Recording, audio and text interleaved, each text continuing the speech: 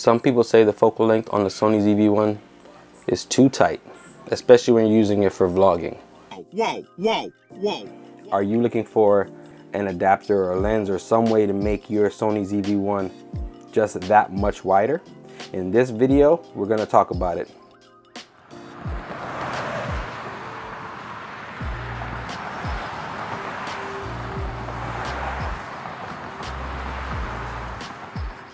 In this video, I'm going to talk about some of the key features or show you some of the key features of the USKey Vision wide angle lens and macro lens and why you should have it on your Sony ZV-1. First, let's unbox it.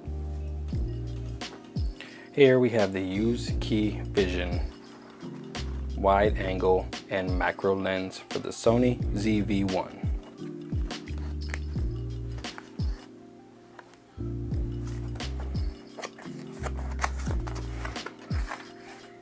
There we have the booklet.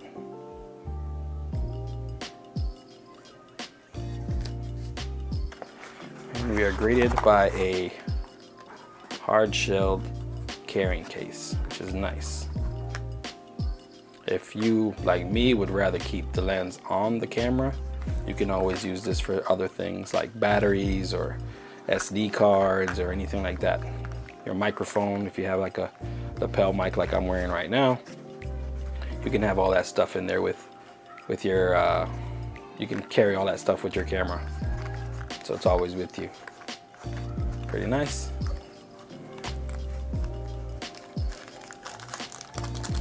Here you have the mount that goes onto the lens and you have some extra adhesive. It has, has an adhesive strip on there but it, they give you extra.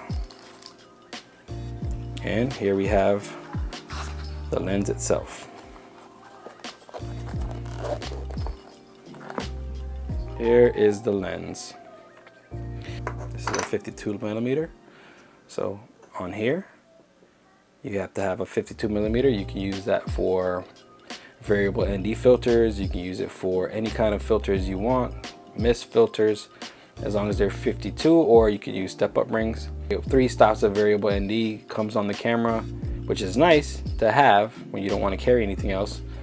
But if you want to be, if you're going to be shooting outside in pretty bright sun, you want to have that filter thread for those variable NDs or ND filters, period. You can use 58 millimeter filters on the ends of this.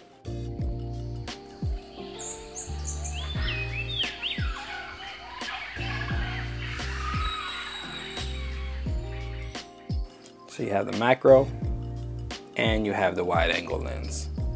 So you can use a macro by itself to get those nice macro shots or you can use them together and get a nice wide angle. It goes from 24, which is built in to the camera, to an 18 millimeter focal length.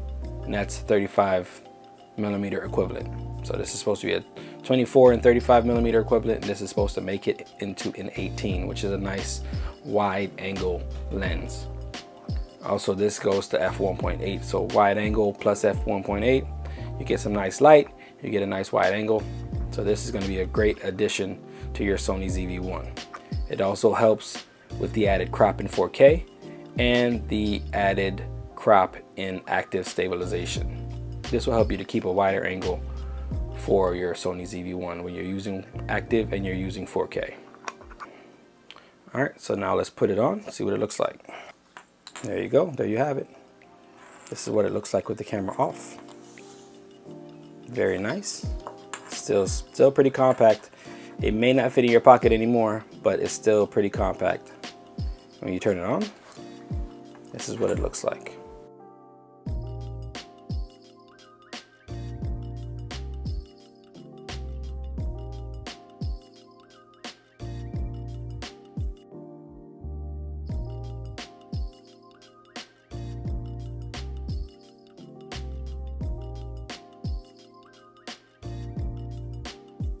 So again, this is the USKey Vision wide angle and macro lens for the Sony ZV-1.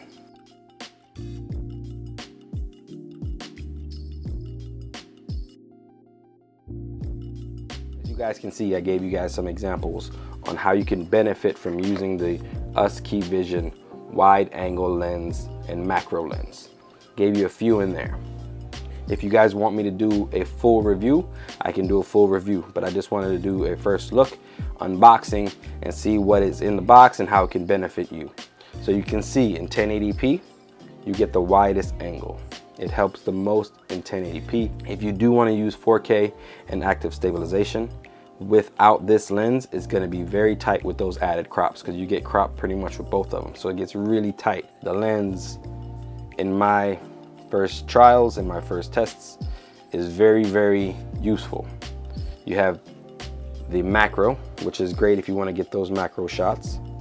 The wide angle lens, which is awesome if you want to get a more not so tight uh, field of view. And you have the ability to put ND filters or any kind of filters on your lenses. So you have all those with this one adapter. It comes all together. You have a hard shell carrying case that they included that is a nice added benefit to this whole kit. The price is under $50, but you get a lot for that $50. It's not just a wide angle lens, you get the macro and you get the, the ability to actually put filters on the front of your ZV-1. Because normally this ring here, it's not there. So you now you have somewhere you can screw those filters onto.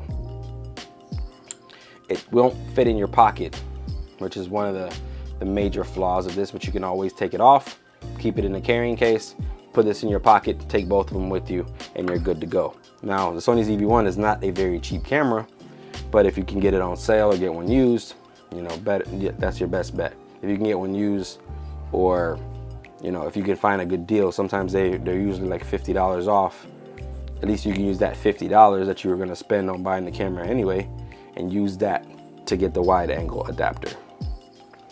There is a coupon on Amazon also for this lens so you can get a few more dollars off. So it comes up under, really under $50. So it's a really good lens, very quality. It's all metal built. The glass, it, it feels very sturdy. It feels very solid, which is very nice. They did send me out this lens to test, but it's not, I'm not sponsored. It's not a sponsored video and I am giving you my honest opinion. I'm not just saying it's great. I didn't really see very many flaws, but if you guys want me to, to do a further review on the corner sharpness and all that other stuff, I can do it. Just let me know down in the comment section and I'll make another video on that. Right now it's just my first thoughts and just seeing what comes in the box when you're spending when you're spending under $50 to make your ZV-1 that much more better. This has been Two Times R. I appreciate everybody that's clicked on the video. If you clicked on the video, if you got something, please don't forget to like and subscribe.